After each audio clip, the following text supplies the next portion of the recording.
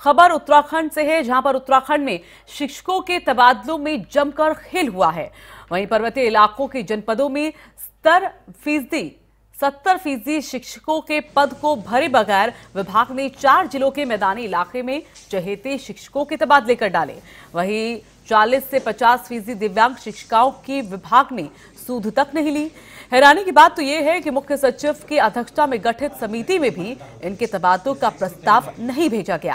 वहीं शिक्षा मंत्री अरविंद पांडे का कहना है कि मुख्य सचिव की अध्यक्षता में गठित कमेटी ने शिक्षकों के तबादले किए हैं। साथ ही शिक्षकों के तबादलों को लेकर हाईकोर्ट ने जो आदेश दिए हैं, विभाग में उसका पालन किया जाएगा।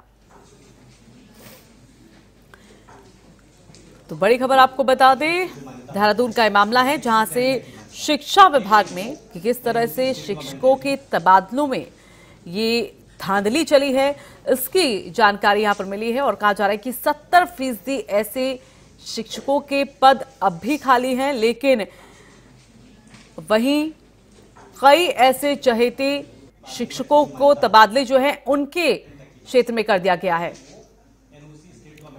और सौरभ भाटिया देहरादून से हमारे साथ हमारे सहयोगी जुड़ गए हैं। सौरभ, ये एक बड़ा कहीं ना कहीं खेल जो है शिक्षकों के तबादले को लेकर सामने आया है।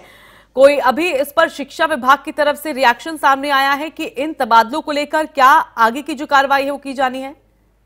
देखिए, क्योंकि हाईकोर्ट ने शिक्षकों के मामले पर संज्ञान लिया था और ये ज़रूर कहा था कि मैदानी जनपदों में जो तबादले हुए उस पर जो है विभाग गंभीरता से ले। लेकिन जब जो उसके बाद चीफ सेक्रेटरी की कमेटी को भेजे गए तबादलों के बावजूद भी उन विकलांग शिक्षकों का तबादला नहीं किया गया, जो जरूरतमंद थे, उससे लगता है कि जो गंभीरता थी विभाग की, वो कहीं ना कहीं खत्म होती चली जा रही है। क्योंकि कांग्रेस सरकार के दौरान ये आरोप लगाते थे कि राज्य में तबादला उद्योग का, की तरह शिक्षा विभाग में चल रहा है, लेकिन अब जिस तरीके से शिक्षकों के रिक्त पद पड़े हैं, उसके बावजूद उनकी तैनाती ना होना खुद में सवालिया निशान खड़े करता है कि आखिरकार विभागीय मंत्री और विभाग के बड़े अधिकारी किस तरीके से शिक्षा विभाग में बेहतर शिक्षा देने का दावा कर रहे हैं। लगातार शिक्षा की गुणवत्ता को लेकर ये कहा जाता है कि बेहतर शिक्षा व्यवस्था होगी छात्रों को बेहतर शिक्षा दी जाएगी। लेकिन सरकारी स्कूलों में जब शिक्षक ही नहीं होंगे तो ऐसे में शिक्षा कितनी बेहतर होगी अपने आप में अंदाज़ा लगाया जा सकता है। जी हम्म, और कहा ही जा रहा है कि जो चालीस से पचपन फ़ीसदी तबादले हैं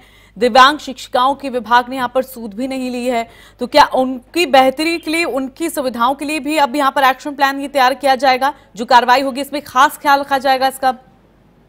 देखिए क्योंकि जो चीफ सेक्रेटरी की कमेटी को इन शिक्षा विभाग के द्वारा जो एक सूची भेजी गई थी उसी में से जो है तबादले किए गए लेकिन जो है जो विकलांग शिक्षक शिक्षिकाएँ थे जो गंभीर बीमारियों से ग्रसित शिक्षक थे हम्म। उनके जो है सूची नहीं भेजी गई है ऐसे में विभाग की उस सूची पर भी सवाल खड़े हो रहे हैं कि आखिरकार विभागीय अधिकारी किस तरीके से जो है किस आधार पर वो सूची बनाकर चीफ सेक्रेटरी की कमेटी में भेज देते हैं जिससे जो है उन जरूरतमंद लोगों को तबादलों का लाभ तक नहीं मिलता है। हम्म। ऐसे में विभागीय मंत्री को और शासन के बड़े अधिकारियों को भी इस मामले पर एक मॉनिटरिंग करने की ज़रूरत है उसे गंभीरता से लेने की ज़रूरत है जिससे जो है उन लोगों को भी तबादलों का लाभ मिल सके। जी। चलिए फ़िलहाल बहुत बहुत धन्यवाद आपका सौरभ हमारे साथ जुड़ने के लिए।